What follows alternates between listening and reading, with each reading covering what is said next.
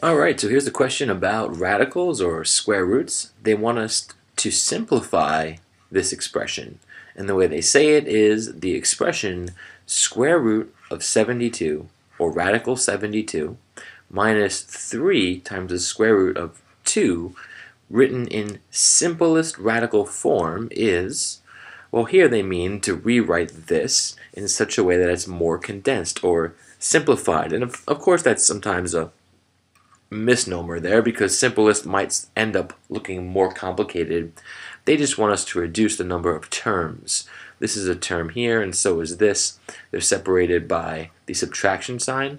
So the idea is with terms, if you can simplify them into one term, then you've managed to simplify the whole expression. So you have a term and then a term here.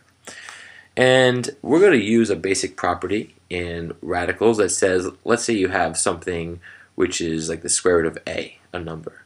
If you multiply it by the square root of b, right, this is equal to the square root of the product of a times b. As a quick example, if you might not remember this, you can always test it with a simpler case. The square root of 4 times the square root of 4, for example, does that equal the square root of 4 times 4, right? Here the square root of a times the square root of a should equal the square root of the product of a and b. So the square root of 4 is 2 times the square root of 4, which is 2.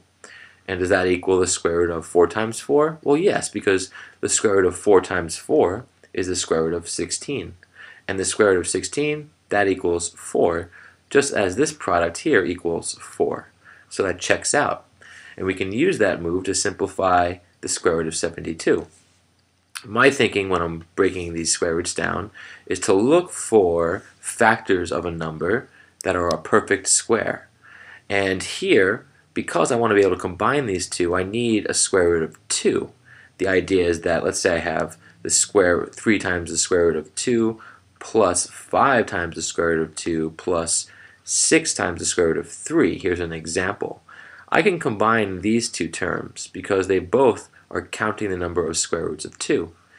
It's just like if I had 3x plus 5x, right? This, this term, this piece of this term right here, the square root of 2, is like in both expressions here, both terms here, excuse me. So I have 8 times the square root of 2. But I can't add it to this term over here because that's in terms of the square root of 3. Just as if I had x's and y's, I can't really combine them. So my goal is, when I'm simplifying this, to get the square root of 72 written in terms of the square root of 2. So I can actually combine this stuff.